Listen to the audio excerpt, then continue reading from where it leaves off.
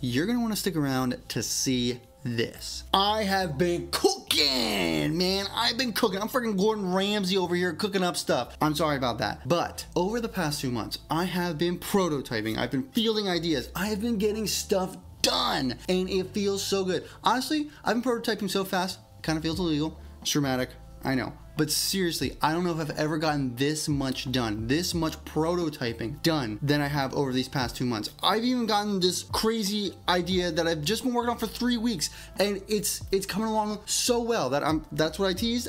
Stick around to the end to see it. It's crazy. It is insane. Over the past two months, I've prototyped three different separate ideas, which have led me to that project now. A project that, you know, is maybe a month or two away from being released completely, with a demo hopefully out in like a week or two. So that's what we're doing today. What have I been doing to prototype so fast? How can you do it? And what has this journey led to? That, that game that I've been teasing a lot. I'm gonna show it to you to prove that this has been crazy. How can we prototype faster?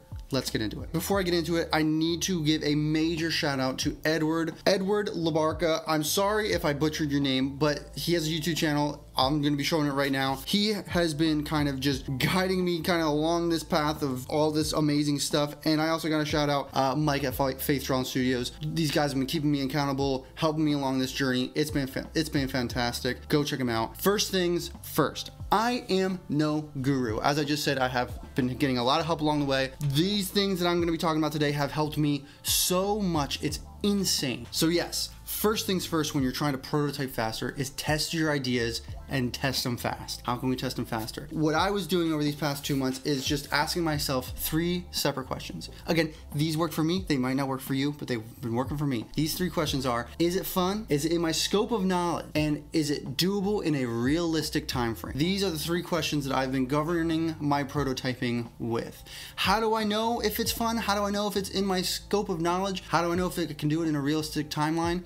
I ask people that I trust. I get some feedback. And just to just to show you guys and bring you along with the fun, I'm going to show you three of these projects. So this I'm not sharing my screen. Let's jump over. Here we go. This this was my first prototype. Super super bare bones. I was just trying to figure out the basis of these ideas, you know? And each one of these things I'm going to be talking about today should build off of and hold the weight of one another. That might sound like gobbledygook, it'll make sense at the end. But this first idea, it is just the the idea is you just enter a room, you collect stuff, you try to survive, and then you go to the next room. That's all this first prototype game idea was. Literally, the player doesn't even have a, a walk animation, but you know, there's there's obstacles. I gotta avoid stuff. This guy has some aggro. I gotta watch out for him. I gotta collect stuff. I can talk to stuff, you know, and I think I have an attack function too. I'm getting wrecked. First question, is this fun? Is it in my knowledge?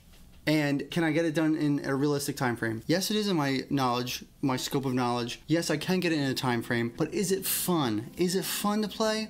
Not really. Could I make it more fun to play? Sure, I could, but I felt like I could offer more. So that was my first prototype. This is early December. Before we move on, I just want to drive home the idea of building off of your ideas. Just because this prototype is not going to work, that doesn't mean I can't take ideas from it and build on it on further prototypes. And that is key going forward. So now let's keep moving forward. Next thing on the list, after you kind of formulated your idea and started asking yourself these hard questions, start breaking down the game into granular tasks.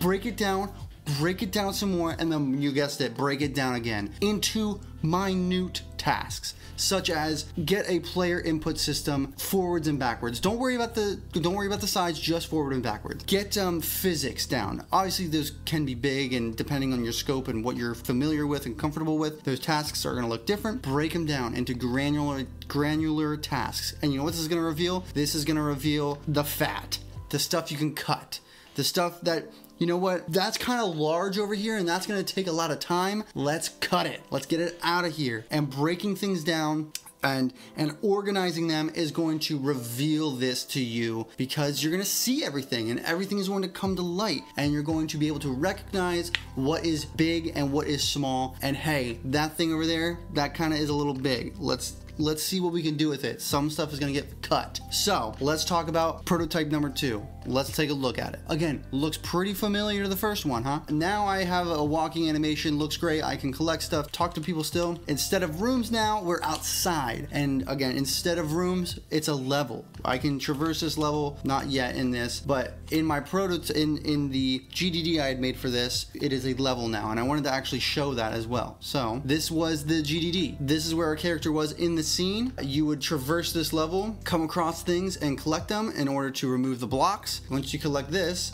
the block will move. If this would work, the block will move and you can continue along the way and you go and collect this and then this block moves a lot of the way and then you go up here and you collect the last thing. That was this prototype. As I was going through it and, and figuring it out, I realized again, I, I asked myself these three questions and I started breaking it down. And I asked myself, is it fun? Is it in my scope of knowledge? And can I get it done in a realistic time frame? Again, I came to the conclusion that yes, actually, I do think this is much funner. I do think I could get it done, and I do think it is in my scope of knowledge. But again, I was I came back to the conclusion that there's more to me that I could offer. And this kind of lies in the scope of knowledge. I can offer more in my knowledge. This is pretty easy for me to accomplish and that's okay if you want to do that. But for myself, I felt like I could offer more.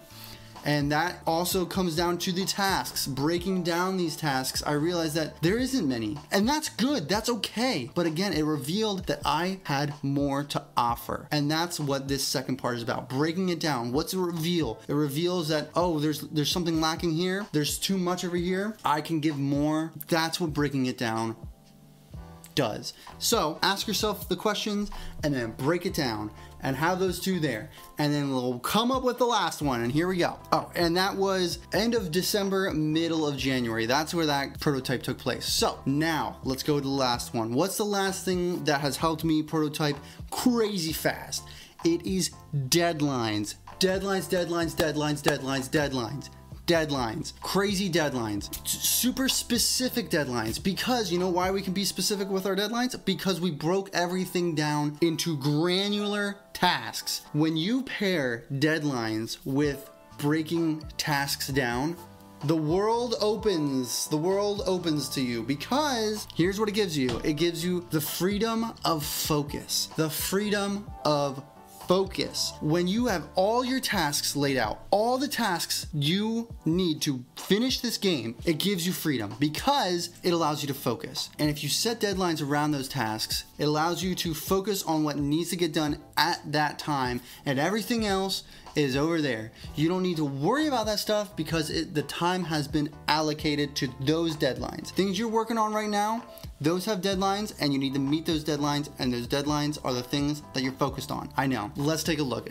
it's confusing. Maybe it's not confusing, but let's just take a look. This was the end of January now. Oops. Uh, everything, this is actually, I actually have a much more detailed one, but I just wanted to show you this. Get deadlines for your granular tasks and it will just allow you to focus on things like never before.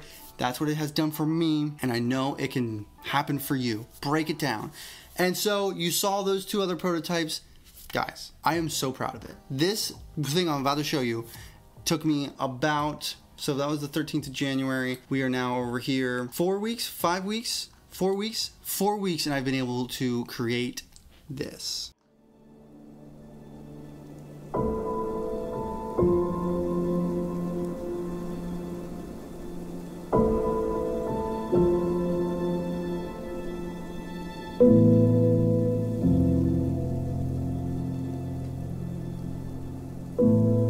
Showed you is something that I am so incredibly proud of. Something that I built in three, four weeks. I have never built a game in 3D in the 3D engine of Unity before. I've only built 2D games. And I, yet I was able to make that 3D game, like I said, in like four weeks.